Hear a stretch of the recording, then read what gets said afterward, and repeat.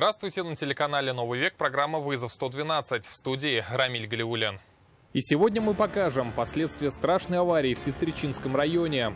Сразу, мы не смогли подойти туда. Такой дым был. 36-летний мужчина погиб при столкновении Kia Rio и стоящей на обочине фуры.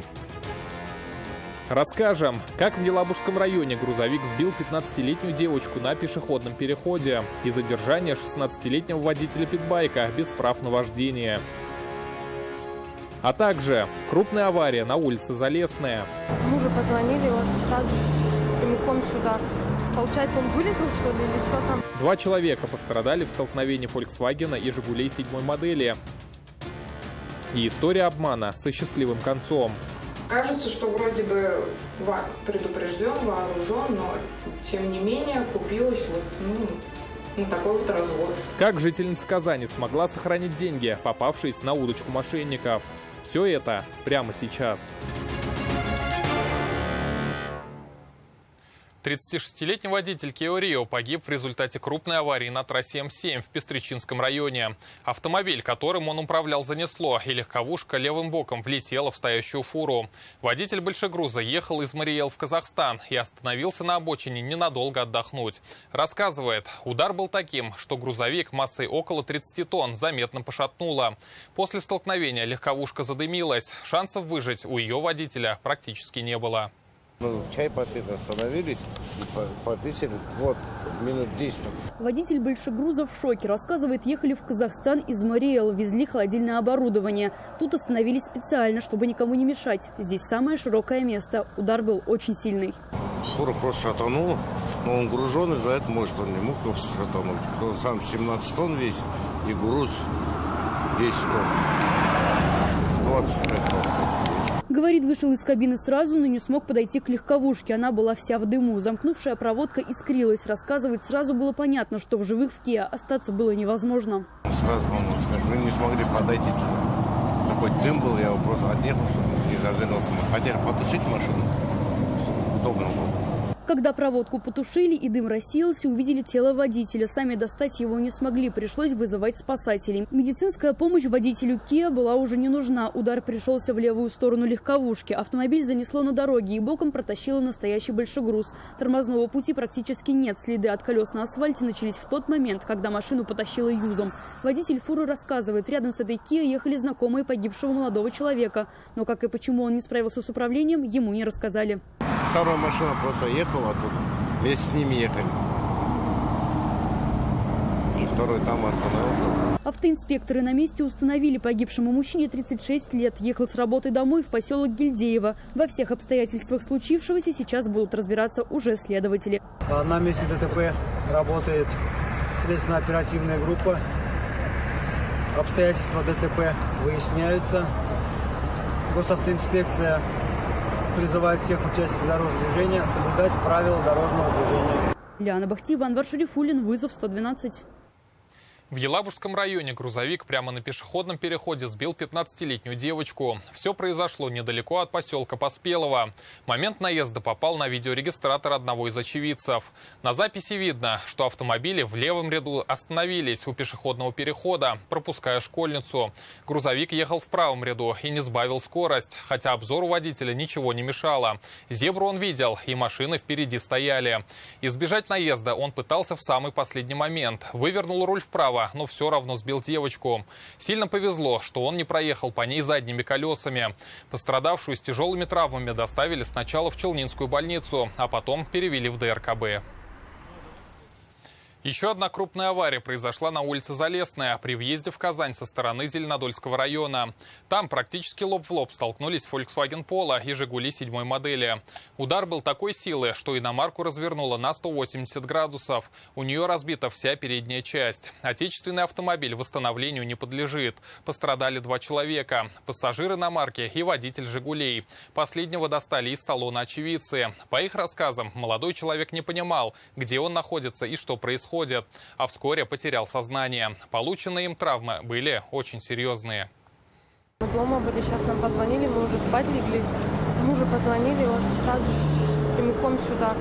Получается, он вылетел, что ли, или что там? Родственники водителя «Жигулей» приехали на место сразу, как узнали об аварии. К их приезду 23-летнего водителя отечественной легковушки уже увезли в больницу.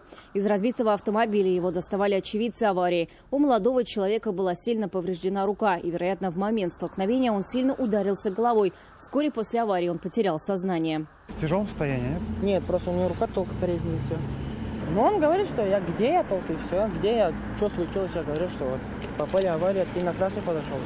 Я потом говорил, что вот, давай у тебя кого-нибудь есть позвоним. Он сказал, пока подожди, а потом позвонили, он на больницу вызвал. Как установили автоинспекторы, 23-летний водитель иномарки двигался по улице Залесная со стороны Зеленодольского района. На перекрестке с улицы Евгения Шварца ему горел зеленый сигнал светофора, поэтому смело ехал дальше. «Жигули», перегородившие дорогу, увидел самый последний момент. От сильного удара обе машины развернуло. К слову, на этом участке дороги полностью отсутствует уличное освещение. Медленные светофоры прямо подошли, он а? разворачивал. У вас скорость была хорошая? У меня 90 был. 93 был. Он резко развернул, просто я не успел тормозить. Просто вот я прямо подошел, он разворот вышел. В аварии пострадал и 25-летний пассажир иномарки, но полученные им травмы были куда легче, чем у водителя «Жигулей». У меня друг только лоб порезал вот здесь, губа.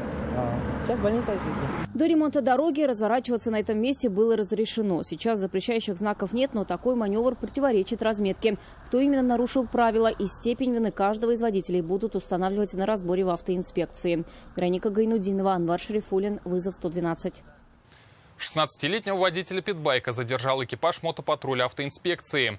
Это произошло на улице Привольная в казанском поселке Константиновка. Подросток ездил на транспортном средстве по дорогам общего пользования, хотя это запрещено. К тому же водительских прав у него не было. Хотя с таким объемом двигателя нужно водительское удостоверение категории А, которое можно получить с 18 лет. В отношении самого водителя составили протоколы за езду без права управления транспортными средствами и управления без полиса полиса ОСАГО.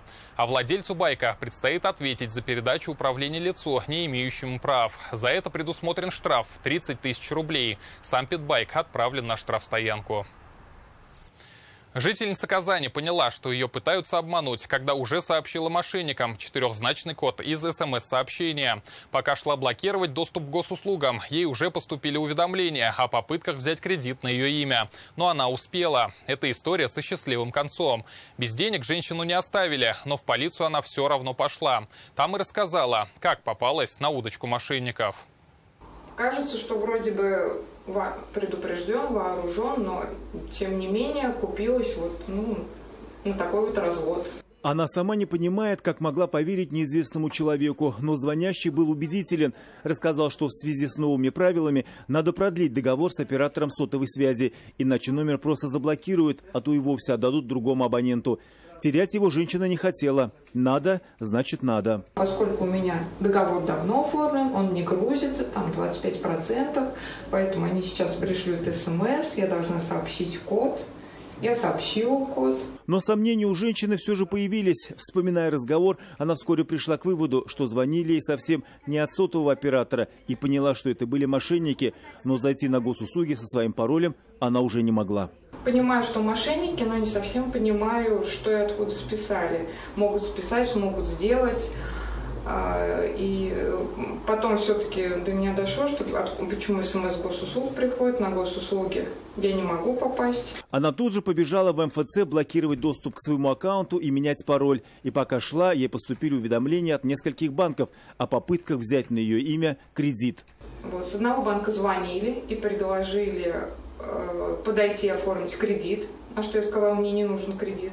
Говорит, сейчас бы все сделала по-другому. Звонящие представляются, и для уверенности надо было просто самой позвонить оператору сотовой связи. Чаще всего мошенники начинают свой диалог с фразы «срок действия договора по оказанию услуг сотовой связи прекращен. При получении данной информации необходимо в срочном порядке прекратить разговор и обратиться к оператору связи за консультацией. Она почти все сделала правильно. За одним исключением полицейские предупреждают, что никогда нельзя передавать свои конфиденциальные данные неизвестным людям. Договор оказания сотовой связи бессрочный, а код от госуслуг нужен мошенникам, чтобы поменять пароль и получить доступ к чужому аккаунту, где есть все персональные данные. Хоть денег женщина не лишилась, но уголовное дело по ее заявлению возбудили. За неправомерный доступ к компьютерной информации. Она предусматривает лишение свободы на срок до двух лет.